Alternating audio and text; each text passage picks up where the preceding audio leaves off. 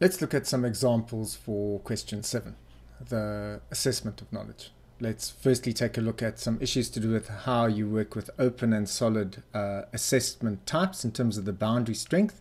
And then let's tell what I take to be some very interesting stories about how assessment actually plays out. And we'll look at uh, we'll look at examples from Finland, from the USA, and from Japan. Uh, Let's start off with the boundary strength story. And I'd like to start off by talking about Finland and then juxtaposing Finland uh, to the USA because they have very different ways of operating with assessment. Now, in Finland, the first thing I'd like to mention about Finland is, is that it has the reputation more recently of being one of the most successful educational systems in the world. Uh, and this has to do with tests which they've done, international tests like PISA, which have shown their students to be doing exceptionally well. And what's fascinating about the Finnish example is, is that their assessment regime, their assessment program, is radically open. Uh, they've got brilliant teachers. Often their teachers, well, the teachers have to have a master's in the subject that they're working with. And this means they can trust the teachers to actually get on with it because the teachers are so well trained and educated. And this means that they can have a very open, radically open uh, kind of uh, boundary system to do with assessment. So here's an account of how it works. Uh, assessment of both schools, learning outcomes, and pupils is encouraging and supportive in nature. Uh, the aim is to produce information that will help schools and pupils to develop. There are no national tests of learning outcomes and no school league tables. Pupils and schools are not compared with each other National assessments of learning outcomes are based on samples, and the key function of assessment is to pinpoint areas requiring further improvement in different subjects and within the entire school system. And firstly, what you can hear is the key role that feedback is playing in this story. The reason why you do assessment is to find out how the system is functioning and what you can do to improve the current functioning. It creates a feedback loop. But notice that the boundary strength of assessment, and by boundary strength we mean do you allow a number of possible options of assessment or do you just have one form of assessment? In this case, it's clearly open. The school system as a whole is allowing the individual schools and the individual teachers to pursue their own type of assessment uh, in the hope uh, and the actual practice that the teachers will give the feedback that's best in the context to the student uh, at an individual level. So it's a fantastic system in terms of the way it works with the open boundary line. And yes, yeah, you can carry on with the account. I, I love the way they describe this.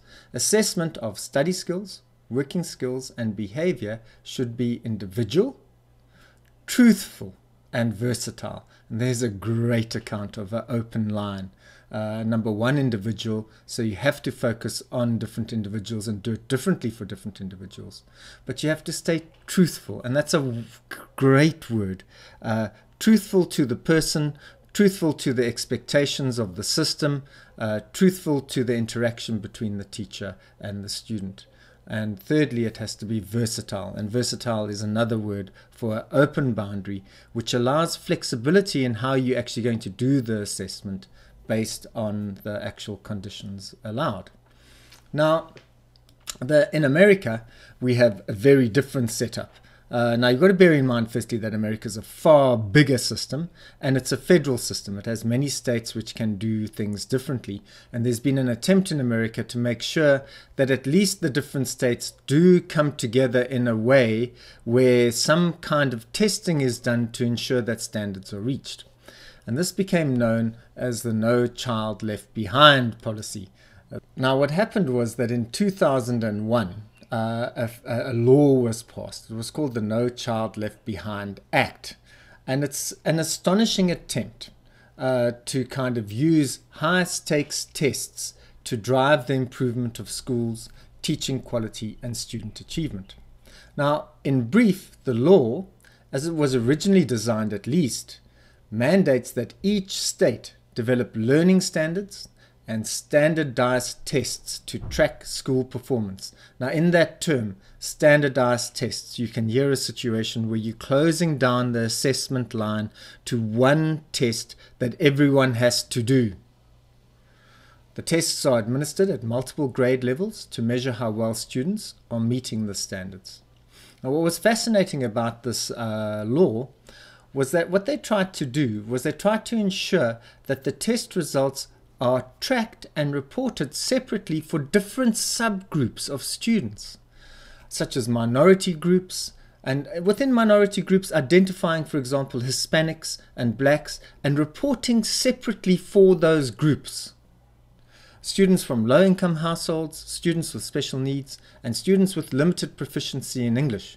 Now, the hope was that by publicly reporting the test scores achieved by different schools and student groups, and then tying those scores to rewards if you do well, penalties if you do badly, and extra funding as you improve, the law aimed to improve schools deemed to be underperforming, as determined by the test scores, and close long standing achievement gaps.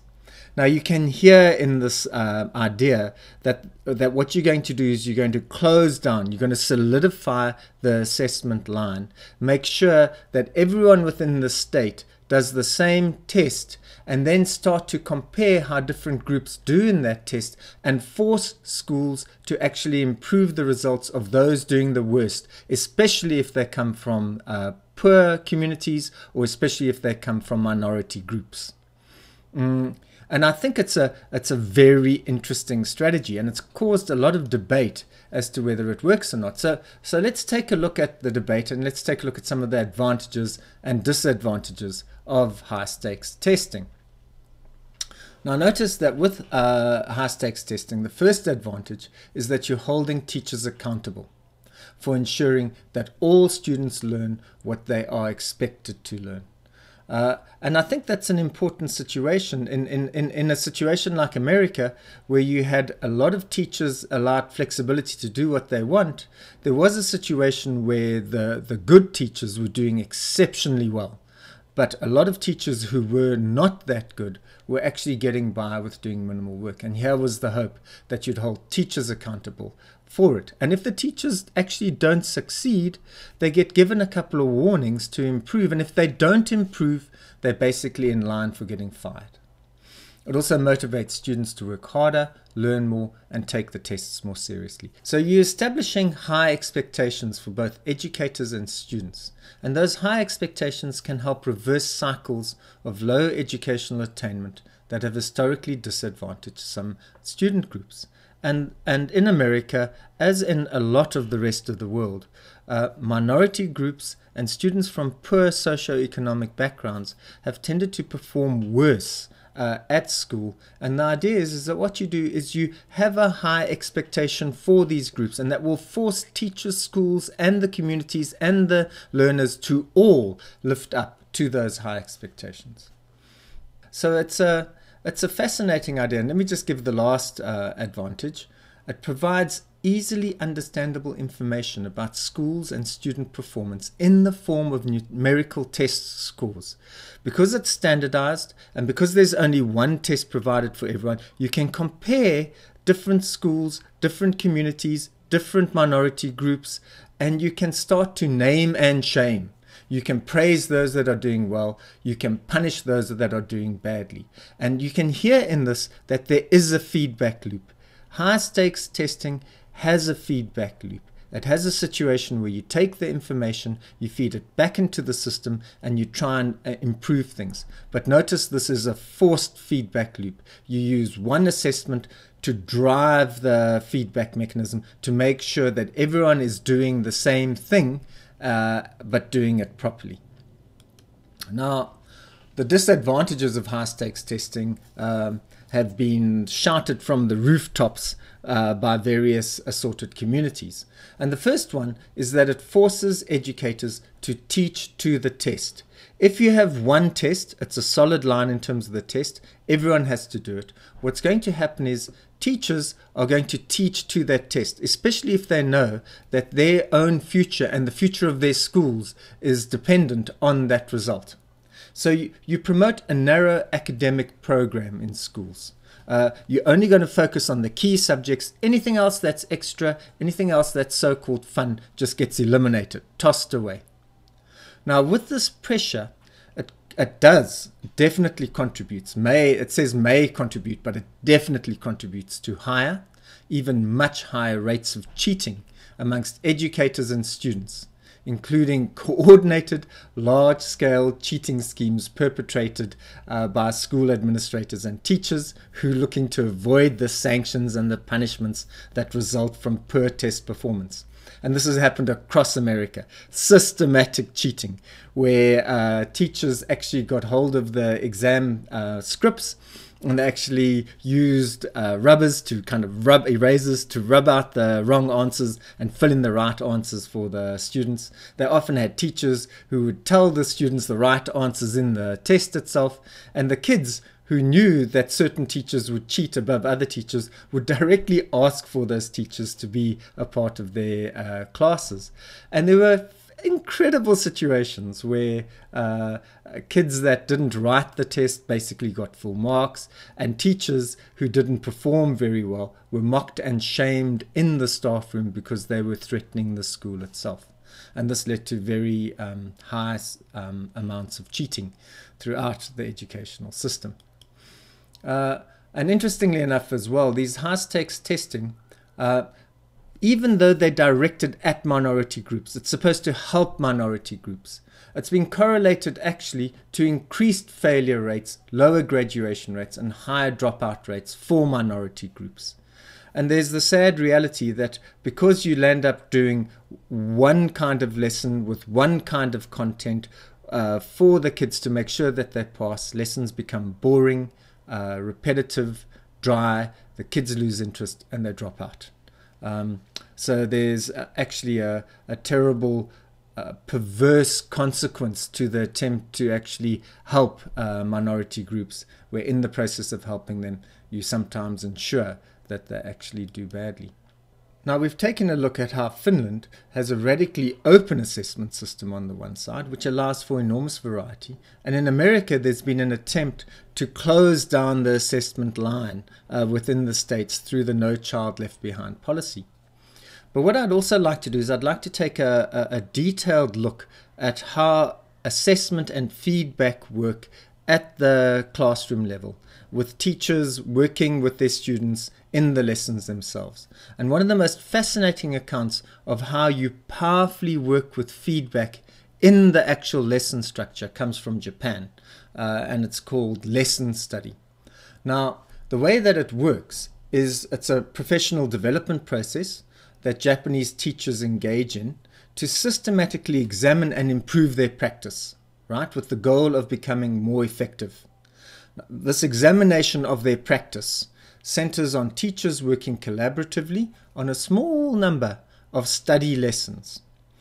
Now, these study lessons are key lessons. They're key areas which have been identified where they take students to not be doing well, or key lessons which students really need to understand. And working on these study lessons involves planning, teaching, observing, and critiquing the lessons. Okay, so what happens is to provide focus and direction to this work, the teachers select an overarching goal, which they work on and they decide on themselves, and a related research question they want to explore. They want to try and understand how it is that the learners actually understand something. So they're going to actually investigate how learners understand the topic. This research question then serves to guide their work on all the study lessons itself. Now, what happens is uh, the teachers, whilst working on the study lessons, they jointly draw up a detailed plan for the lesson. Done collaboratively together, they work on what they take to be the best lesson that they can imagine. Uh, this has to be a lesson where the learners or the students do work. The learners have to show their understanding, they have to grapple with the task itself. And then what happens is one or two of the teachers teach the lesson in a real classroom as other group members observe the lesson. And then afterwards, the group then comes together to discuss their observations of the lesson. And they revise the lesson based on what they've seen. And after they've revised it, another teacher teaches it in a second classroom whilst the group members look at it again. And then they'll come together again to discuss the observed instruction.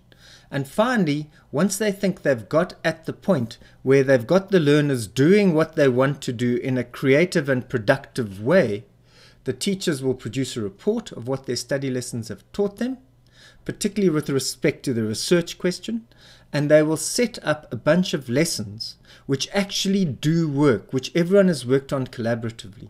But now here's the interesting point after that lesson has been worked on and designed and all the materials have been perfected and all the responses from the learners have been uh, studied to ensure that the best response is given, that lesson then becomes a core lesson which all the teachers in that group teach. So weirdly, the initial phase is a radically open phase in terms of the selection, sequencing, and pacing, where you try and work on things together in an open way. But once the lesson's formed, it becomes very much like one of Engelmann's direct instruction lessons, where all the teachers then teach it according to the script of that lesson.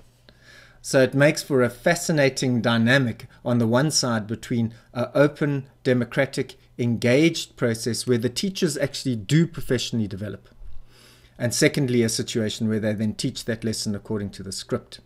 And I think it speaks directly to the problematic direct instruction has with the fact that he takes away the designing of the lesson, the professional insight of the teachers into what should go into the lesson. Engelmann takes that away. He takes it upon himself to do. Whereas over here, you skill up the teachers in the process itself. Uh, so you enable them to become the people who design really good lessons. Now, I just want to highlight uh, how the Japanese lesson study plan works, uh, just to show you directly how it works with the feedback cycle. Now, firstly, you work on the steps of the lesson and the learning activities and the key questions, and that's designed by the teachers together. And that's a full lesson with all the different materials that are needed to do the lesson itself. And what happens is, with the student activities, you give an account of what you expect the student reactions or responses to be. So you actually predict their response. You say, if we do this, we think they're going to react like that. And then once you work out that reaction, you then say the teacher should respond to the reaction of the students like this.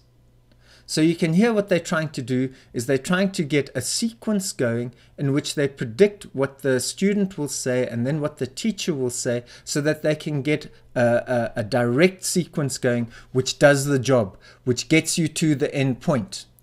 And then you have the methods of evaluation which make sure that the students have reached that end point.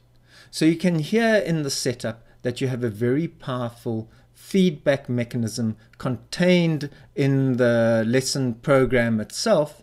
And this ensures that uh, the sequence, which is initially radically open and explorative, finally lands up in a situation where it closes down. And eventually, by the end of the process, you have a scripted lesson which everyone has worked on, rather than just one person who then insists that everyone has to teach it across the world.